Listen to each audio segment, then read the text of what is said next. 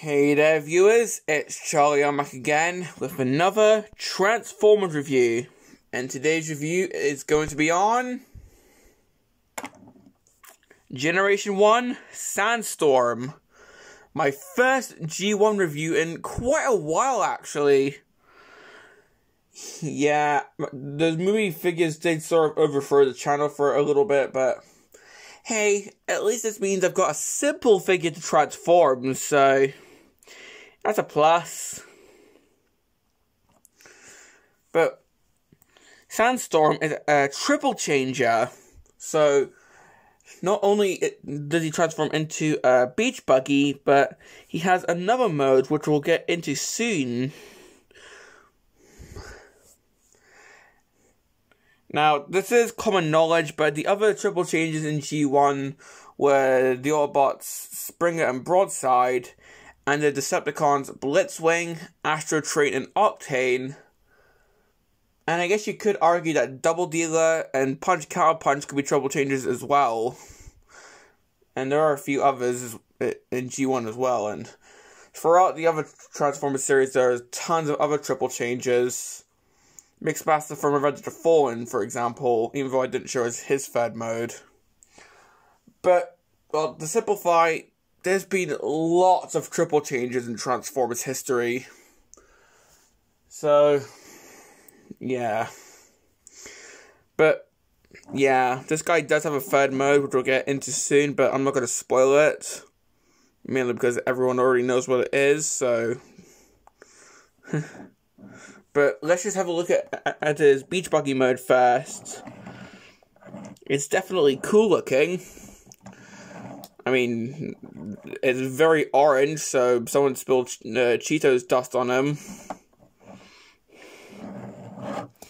But this back propeller, so I'm pretty sure that this spoils his second mode, although this could be something that you could add to a beach buggy for a bit of flair, I guess. So this isn't entirely kibble. So clever Hasbro. We're quick 360. Most of the detailing is stickers instead of tampographs. Yeah, like old Death's stickers. These Autobot insignias are stickers. This is a sticker. That's a sticker. And look, it's a rub sign. The last time we saw this was on a Classics figure, Starscream. And if I just rub this, this one actually works. I mean, not fully, but it does work. But we can see that he's an Autobot. I mean, of course. But here we can see a chromed engine. Although, that's actually just his head. I mean, it's a really good way to hide the head in vehicle mode.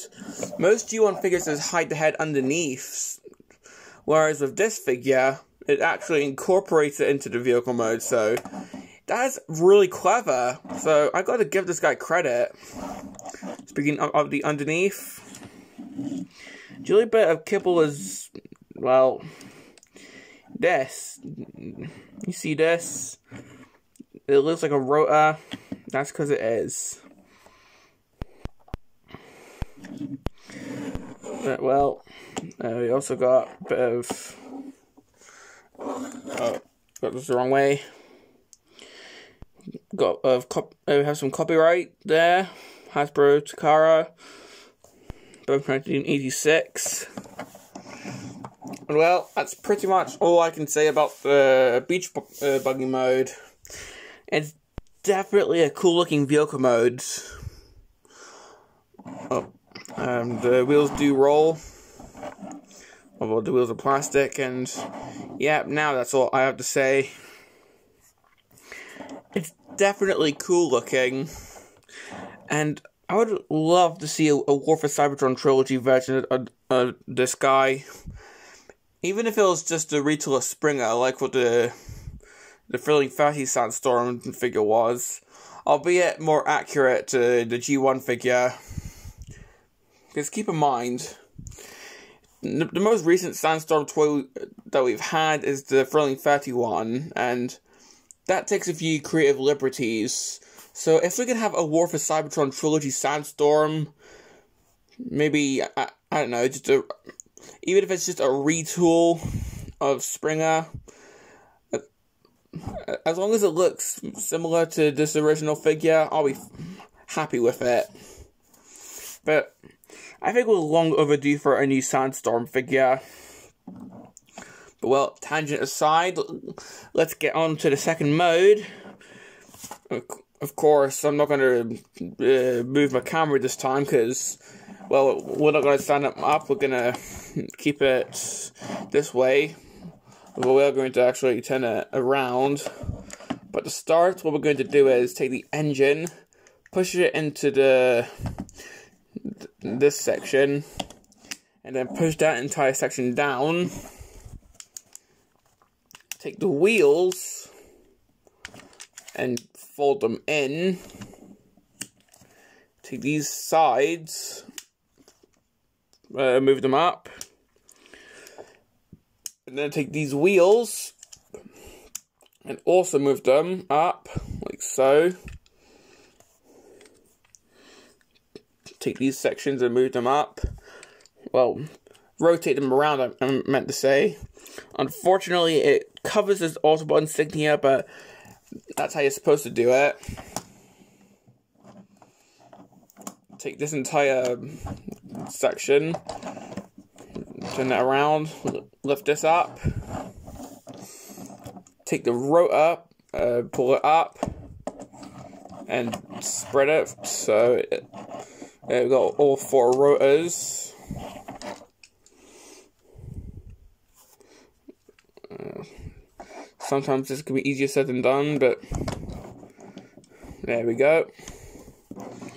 And here we have Sandstorm in its helicopter mode. And, well, I just love how this helicopter mode looks. It's amazing how it, it how its debuggy modes pretty much the only thing that carries over is this section, and it fits right in because it's meant to be a tailboat of a helicopter. Sure, if you look underneath, you can still see the windshield section for the Dune buggy, but the wheels actually help keep it up. So, yeah, this is really cool looking. So, if we have a 360, yeah, this mode's a bit more kibbly because, as I said, we can see the windshield and we can see the wheels from the Dune buggy mode. Especially, especially if you look at the back, can still see these wheels, but it still looks really cool. The rotor does spin. Oh, if you don't accidentally get your fingers in the way.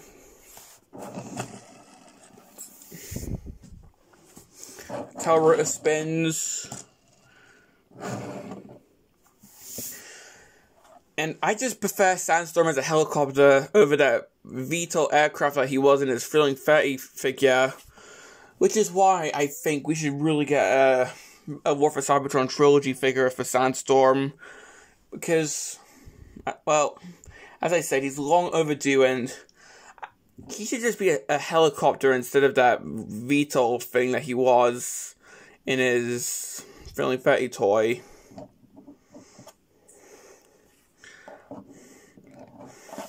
Now, before I get onto the robot mode, I'm going to transform him back into his Dune Buggy mode because I actually want to show a, a little fan mode that I came up with.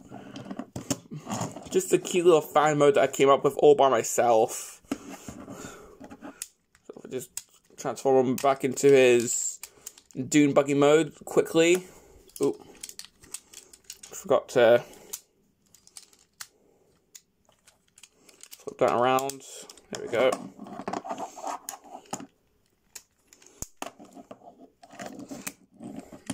Oh, that's part of the robot mode transformation, but here he is back in his uh, Dune Buggy mode. So if I fold the wheels, well, halfway up, well, I'll transform uh, this section first. So if I fold these halfway up, take these bits and move them up.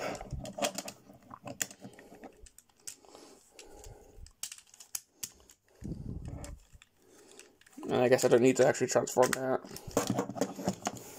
I like to repurpose this as like a little G1 version of his VTOL aircraft mode from his feeling from his uh, Thrilling 30 toy. Yeah, it's crappy and it doesn't really look that accurate, but hey, it's just a bit of fun. And remember, it's a G1 toy. The G1 toys are all about imagination, so. Besides, this is not even an official mode, it's just a fan mode, so. But yeah, a G1 a G1 toy version of its VTOL mode from the Thrilling 30 toy. but okay. Let's get on to the actual transformation, eh? Oh, if I can actually get this plugged in. So I'll start from the Dune Buggy mode because it's easy to get him into his robot mode from his Dune Buggy mode, so We'll start from there. So it starts, take the legs and pull them down like you do with a lot of G1 figures.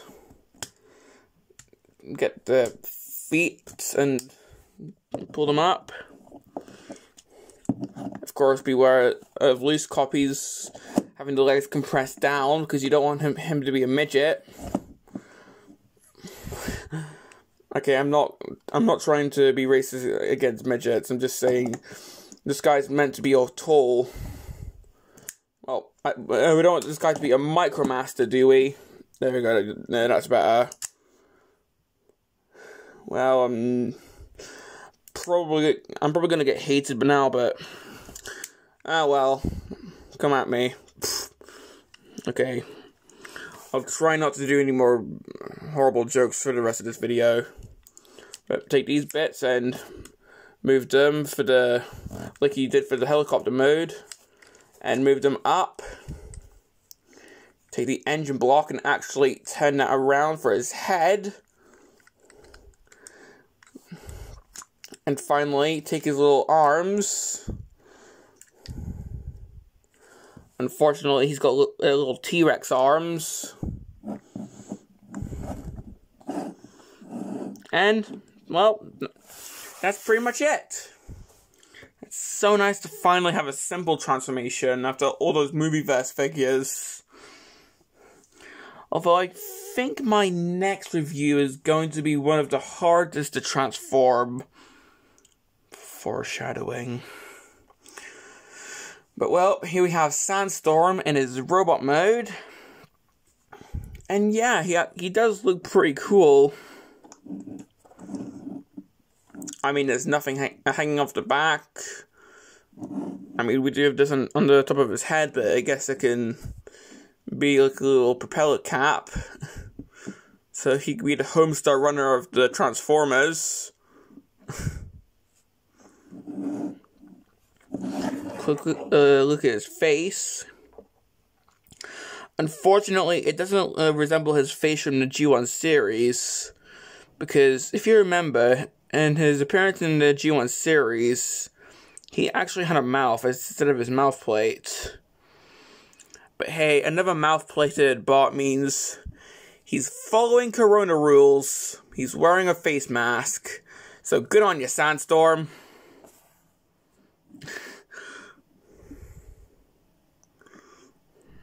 Okay. So, okay, let's just change the subject. I don't, I don't know what else to say. So, normally he does have a gun, but I don't have it.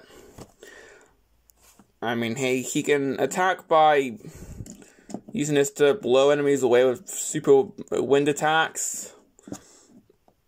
I mean, hey, I, I'm a collector. I display my figures. I don't I don't come up with super battle scenarios. I just display my figures casually, so weapons are not really a huge concern for me unless they play it, unless they're meant to be like parts of the vehicle mode.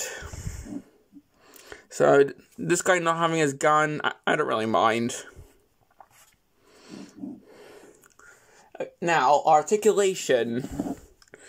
Well, his head can actually move because of his transformation, I mean, how many G1 figures do, do you know can actually move their head?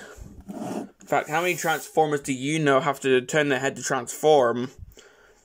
Well, this guy, um, Kickback, Wheeljack, Landmine, um, yeah.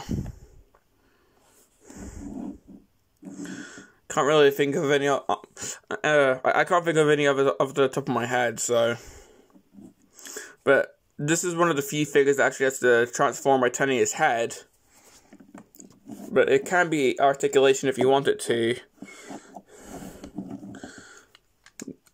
These bits can sort of move, but pretty much the only uh, uh, good arm, the only good arm articulation is here. But unfortunately, no T-posing. Whoa. Damn it, G1. Yeah, G1... Uh, G1 only had articulation where transformation joints were, so... Because there's no articulation in the legs whatsoever. They can't move forward, can't move back, can't do the splits. The only articulation is in the head and the arms, and that's it. Well, that's pretty much all I have to say.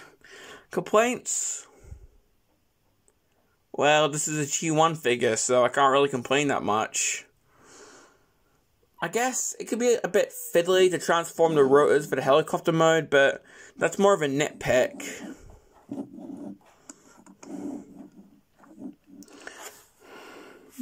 Yeah, I can't think of any actual complaints. Not just because it's a G1 figure, I legit cannot think of, of any actual complaints. This is just a really good and simple figure, so... Plus, it's actually affordable. I got this for like 20 something pounds, so... That's a good deal. Especially since most G1 figures go for like over 50 something pounds. So... I got lucky with this guy. Hmm. So, do I recommend Sandstorm? Well, if you're a G1 collector, then definitely. This is a really good figure. I mean, if you don't like the fact that he can't T-pose or do the splits, then... Well, maybe hesitantly go for the Feeling Fatty figure, but... It is rather different. The helicopter mode has been replaced with a VTOL aircraft. And well, it it just looks different.